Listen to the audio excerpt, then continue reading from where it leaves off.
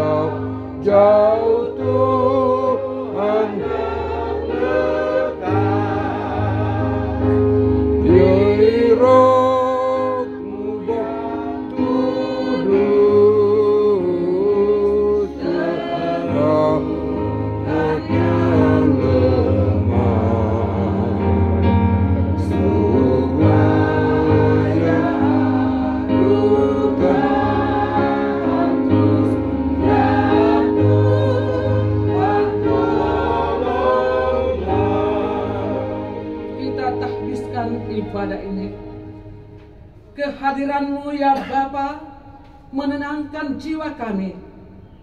Kasihmu ya Yesus Kristus menyejukkan hati kami. Urapanmu ya Roh Kudus menguatkan dan menghibur kami. Karena itu ibadah lawatan saat ini atas meninggalnya hamba pelayan Tuhan Pendeta Ibu Marilyn Mona STH kiranya ditahbiskan di dalam nama Bapa, Anak dan Roh Kudus. Amin. Disilakan duduk.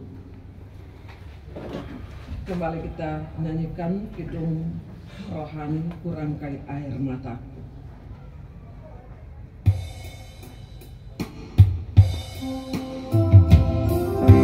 Kita membaca bersama Mazmur 34 ayat 18 hingga 19. Mazmur 34 ayat yang ke-18 hingga yang ke-19. Kita mulai. Apabila orang-orang benar itu berseru-seru, maka Tuhan mendengar dan melepaskan mereka dari segala kesesakannya. Tuhan itu dekat kepada orang-orang yang patah hati dan ia menyelamatkan orang-orang yang remuk jiwanya. Kita lakukan hidung rohani yang ketiga, kupasrahkan kepada Tuhan.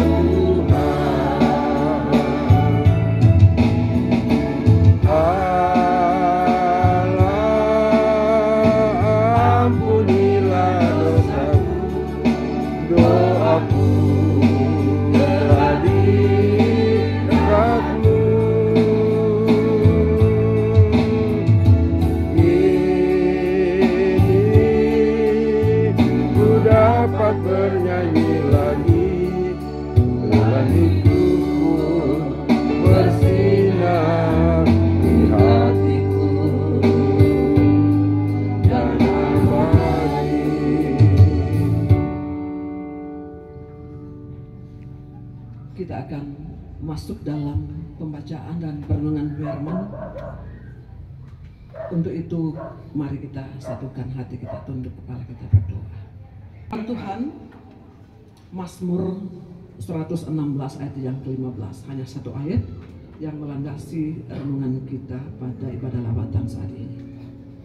Saya akan bacakan untuk kita semua. Mazmur 116 ayat yang ke-15 berharga di mata Tuhan kematian semua orang yang dikasihinya.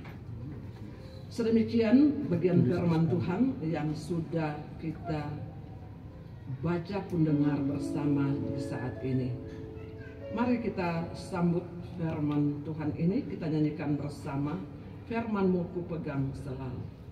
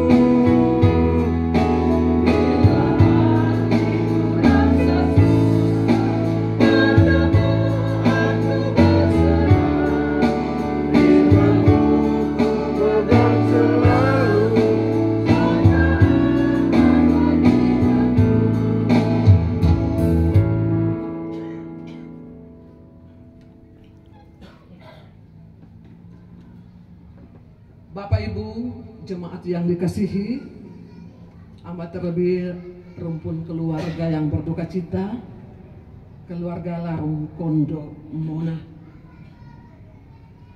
Kita semua adalah orang yang percaya. Tentu kita memahami dan mempercayai bahwa, bahwa hidup matinya anak manusia ada dalam rancang bangun Tuhan sendiri. Hari kemarin tepatnya hari Minggu tanggal 19 Mei 2024 jam 00.45 Wita adalah batas waktu yang ditetapkan oleh Tuhan. Berhentinya berputar jarum kehidupan bagi almarhumah pendeta Ibu Marilyn A. Larung Kondo Mona. Tak seorang pun yang bisa membantah pun menolak bila panggilan sang halik pemilik kehidupan diperdengarkan kepada masing-masing kita, hai anak manusia, kembalilah kepada aku.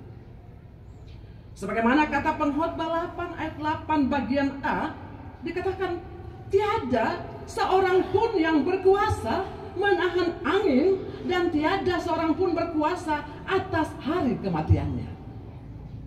Kapan saja Bapak Ibu Saudara-saudara dan di mana pun tanpa memandang tempat atau usia. Ketika waktunya tiba maka manusia pasti mengalami kematian secara fisik. Seperti kata Ayub, jikalau ia menarik kembali rohnya dan mengembalikan nafas padanya, maka binasalah bersama-sama segala yang hidup dan kembalilah manusia kepada debu. Ayub 34 ayat 14 hingga 15. Artinya Bapak Ibu Saudara-saudara, sehebat Dan sekuat apa pun manusia pasti akan mengalami kematian. Walaupun demikian Bapak Ibu Saudara-saudara satu hal yang pasti. Kematian bukanlah akhir dari segala-galanya. Melainkan awal atau permulaan atau babak baru kehidupan orang percaya hidup bersama Tuhan di sorga. Itulah yang dikatakan dalam kitab Injil Yohanes 11 ayat yang ke-25. Akulah kebangkitan dan hidup.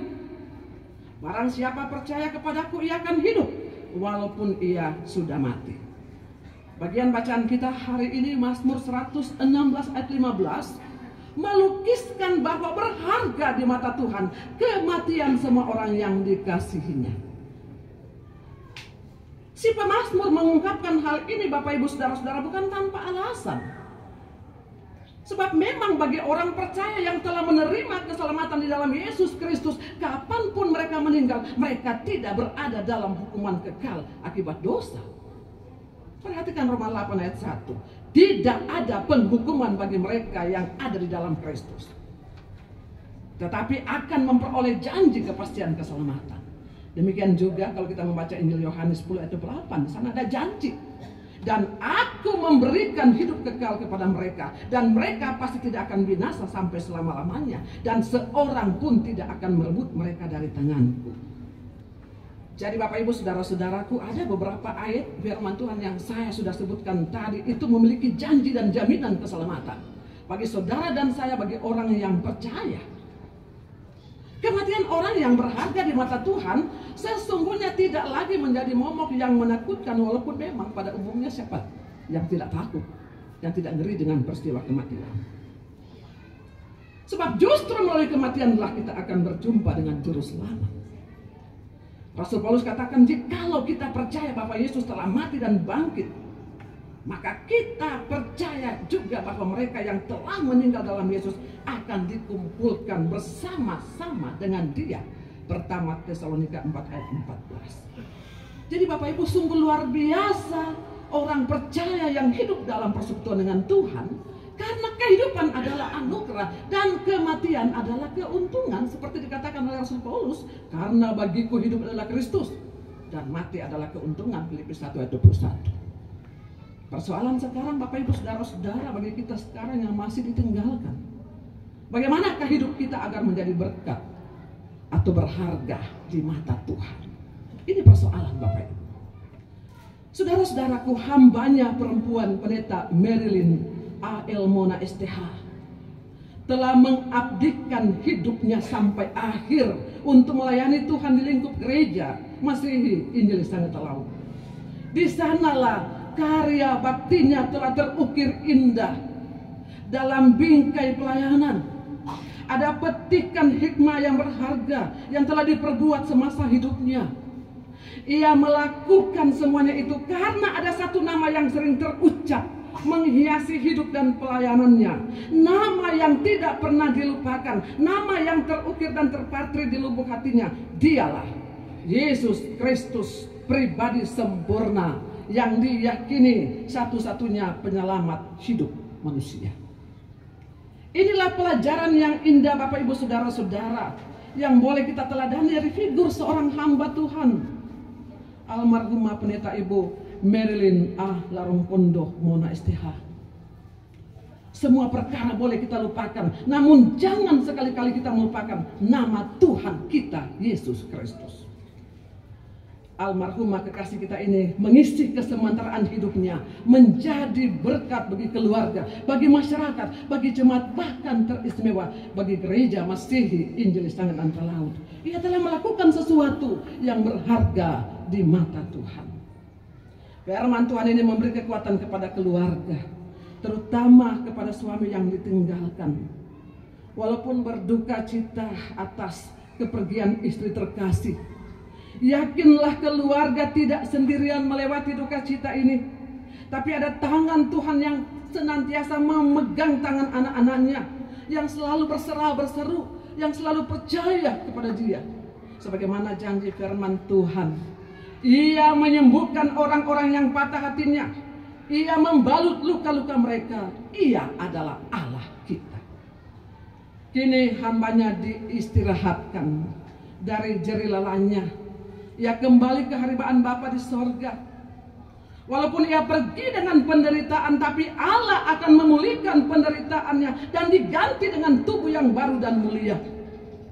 Yakinlah, melalui pengorbanan Yesus Kristus almarhumah kekasih kita ini, pendeta Ibu Merlin Merlin A. Larung Kondo Mona STH telah menjadi bagian dan turut dalam barisan orang-orang yang diselamatkan.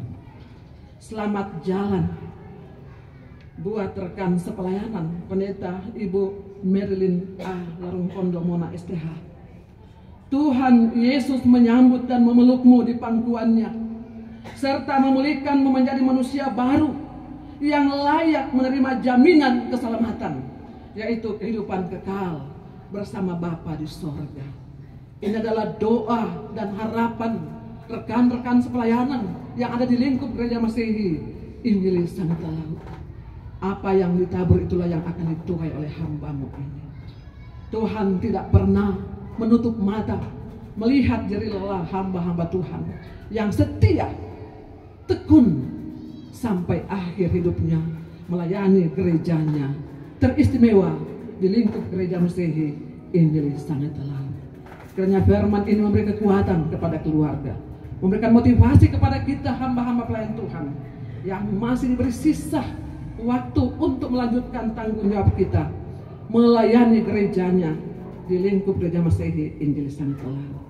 Kiranya firman ini menjadi berkat untuk kita sekalian. Amin. kita akan memberikan persembahan kepada Tuhan dan sementara pundi-pundi diedarkan kita akan nyanyikan gedung rohani bahasa daerah dunia kobiahin.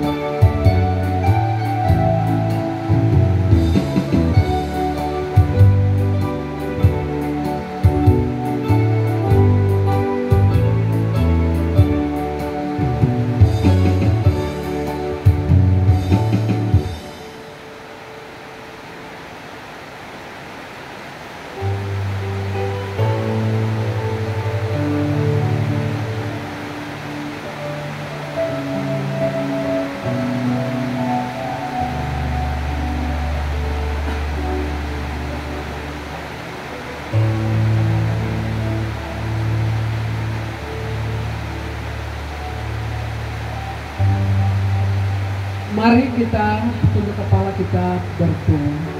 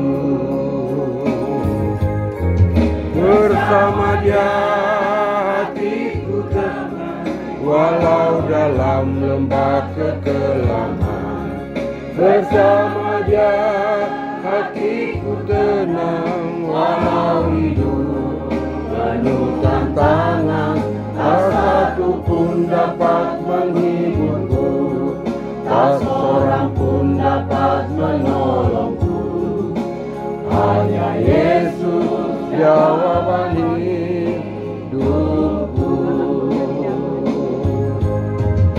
Kalau ku cari damai Hanya ku dapat dalam Yesus. Kalau ku cari ketenangan Hanya ku temui di dalam Yesus. Tak satu pun dapat menghiburku. Tak